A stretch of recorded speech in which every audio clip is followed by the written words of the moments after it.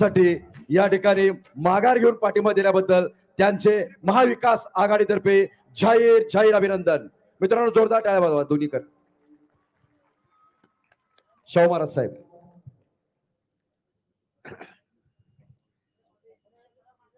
अशा या गांधी मैनात येथे आयोजित शिवसेना शाहू निर्धार सभा आयोजित केली आहे. या कार्यक्रमासाठी उपस्थित असलेले मान्य श्री शरदरावजी पवार उद्धवजी ठा ठाकरे जे आता येणार आहेत ते रमेश चेनिथला बाळासाहेब थोरात जयंत पाटील संजय सिंग खासदार चंद्रकांत हंडोरे आमदार बंटी पाटील पी एन पाटील जयश्रीताई जाधव ऋतुराज पाटील जयंत आसगावकर आणि या विराट सभेसाठी उपस्थित असलेले सर्व बंधू आणि भगिनीनो आणि व्यासपीठावरील इं इंडिया आघाडी आणि महाविकास आघाडीचे सर्व मान्यवर आणि सर्वात प्रथम आज एक मे आहे महाराष्ट्र दिन आहे आणि त्याच निमित्ताने मी सर्वांना महाराष्ट्र दिनच्या शुभेच्छा आपल्या सर्वांना देतो. आणि तसाच एक मे म्हणजे कामगार दिन आणि कामगारांना सर्व माझ्या हार्दिक शुभेच्छा. सर्वात पहिले मी तुम्हाला सांगू इच्छितो की छत्रपती शिवाजी महाराजांच्या आणि रणरागिनी ताराबाई महाराणी साहेबांच्या कडून स्फूर्ती घेऊन अन्याय विरोधात जनतेसाठी लढा कायम चालू राहील. त्यासाठी संघर्षाची सुद्धा तयारी आहे. महात्मा ज्योतिबा फुले राजश्री छत्रपती शाहू महाराज डॉक्टर बाबासाहेब आंबेडकर यांनी आपल्याला समाज सुधारण्याची दिशा दिली. विशेषतः शाहू महाराजांकडून आपल्या समतेचे आणि सर्वांना बरोबर घेऊन जाण्याचे शिकवण मिळाली. संविधान व लोकशाहीच्या संवर्धनासाठी मी निवडणूक लढविण्याचा निर्णय घेतला.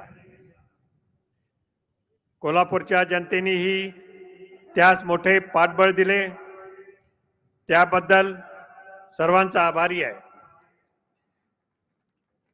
मतदारांमध्ये एक वेगळाच उत्साह निर्माण झा झाल्याचे दिसून येते. प्रचाराच्या निमित्ताने जेव्हा मतदारांना भेटलो तेव्हा त्यांनी उत्स्फूर्त स्वागत केले पाठिंबा दिला. त्यांना मतदान संघात बदल अपेक्षित आहे. कोल्हापूरच्या विकासाचा माझा संकल्पनामा आत्ताच थोड्या वेळात प्रसिद्ध होणार आहे.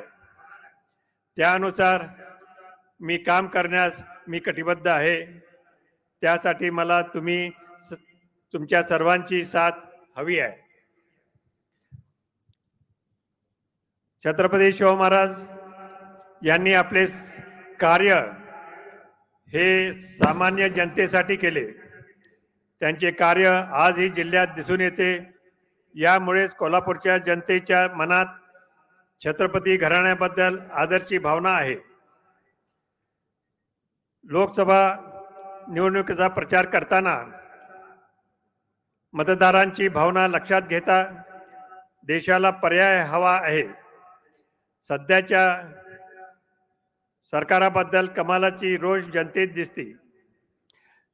सामान्य जनतेचे प्रश्न त्यांच्या जगण्याच्या निगडीत असतात.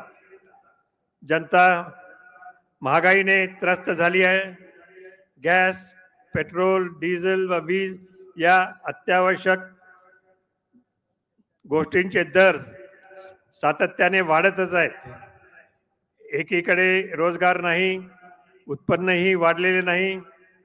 त्यात घर कसे चालवायचे हा प्रश्न सामान्य जनतेसमोर आहे.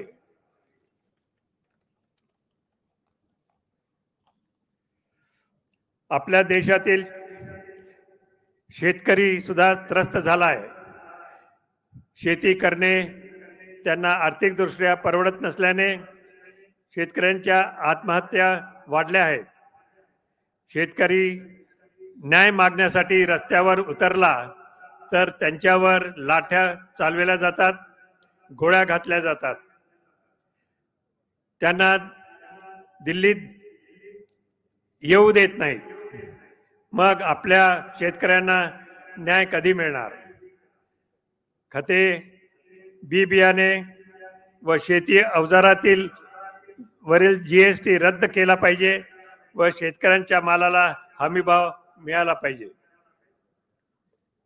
केंद्र सरकारच्या धोरणेमुळे छोटे उद्योजक विजेचे दर व जी एस टी करामुळे अडचणीत आले आहेत.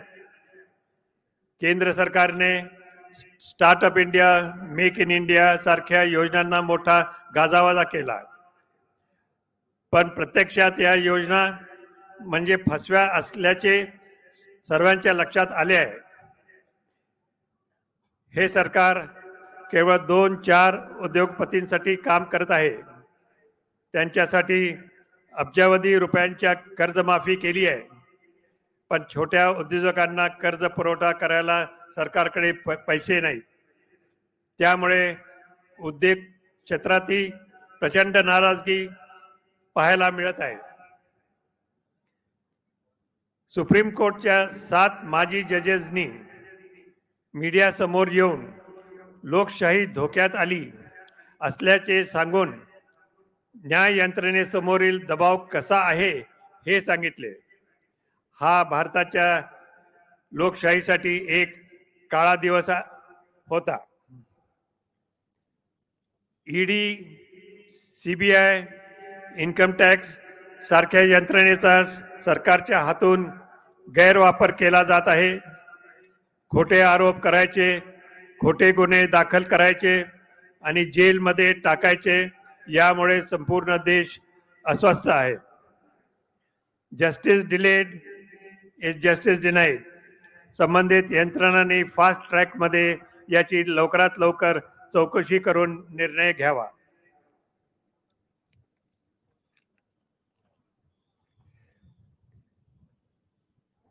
तुम्ही विकास केला असेल तर दुसऱ्याचे पक्ष फोडून ज्यांच्यावर भ्रष्टाचाराचे आरोप केले आहेत त्यांनाच मानाचे पदे देण्याचे काय गरज होती?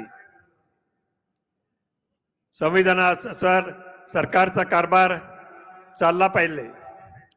केंद्रीय तपास यंत्रणेचा वापर स्वतःच्या राजकारणासाठी केला जात आहे. मीडियावर दबाव टाकला जात आहे. गेल्या चार वर्षापासून स्थानिक स्वराज्य संस्थांची निवडणूक न घेतल्यामुळे त्यांचे अस्तित्व संपत आले आहे. गेल्या काही दिवसापासून अनेक रथी महारथी कोल्हापूरला येत आहेत. त्यांनी पाच ते सहा दिवस कोल्हापुरात तळ ठोकून बसले आहेत. परंतु त्यांनी कितीही प्रयत्न केले तरी छत्रपती शाहू महाराजांचे विचार आम्हाला दिल्लीमध्ये पोचवायचेच आहेत. कोल्हापूरची जनता सुद्धा यामध्ये मागे पडणार नाही. शेवटी येणाऱ्या सात मे रोजी एक नंबरला असलेल्या माझ्या नावासमोरील हाताच्या चिन्हाचे बटन दाबून आपले बहुमोल मत देऊन मला प्रचंड मताने विजय करावी ही विनंती. जय- जय हिंद जय महाराष्ट्र. यानंतर आदरणीय शरदचंद्रजी पवार साहेब.